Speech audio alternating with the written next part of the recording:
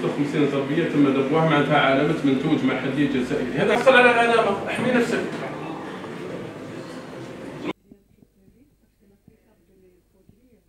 أن الديوان الوطني للسياحة في كل سنة يقوم بتصدير برنامج سنوي آه، برنامج ثري ومتعدد ومتنوع.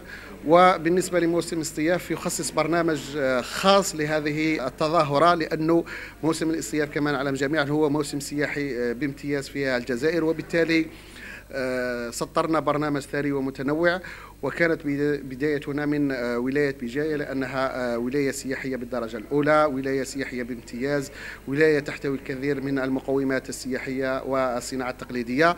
وبالتالي بالتنسيق مع مديرية الغرفة الصناعة التقليدية ومديرية السياحة والصناعة التقليدية للولاية قررنا تنظيم تظاهرة السياحية الأولى في هذه الولاية المتعددة.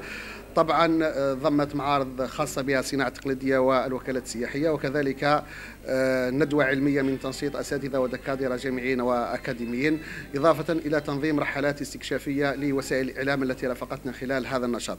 طبعا آه، ركزنا في هذه التظاهرة كذلك وفي الندوة العلمية على دور المنتج التقليدي في تنشيط السياحي لأنه المنتج التقليدي كما نعرف جميعا له أهمية كبيرة جدا أهمية أهمية ذات ثلاث أبعاد بمناسبة تنشيط موسم الاصطياف لسنة 2023 آه، يعني لنا الشرف أن نستضيف القافلة الأولى للديوان الوطني السياحي الخاص ب آه، تنشيط يعني آه، العمل على الترويج من أجل تنشيط موسم الاصطياف للسنة الجارية بدار الصناعه التقليديه سيد علي البحر.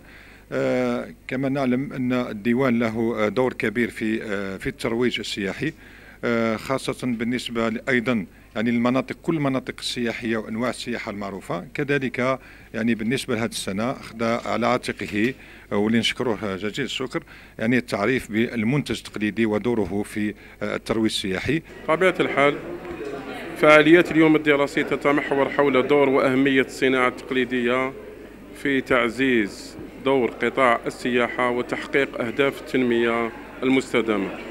من الناحية الاقتصادية يعلم الجميع أن قطاع السياحة يعتبر ركيزة أساسية من ركائز برنامج النمو الاقتصادي المعتمد من طرف الحكومة الجزائرية إضافة إلى أربعة قطاعات أخرى كالفلاحة والطاقات المتجددة.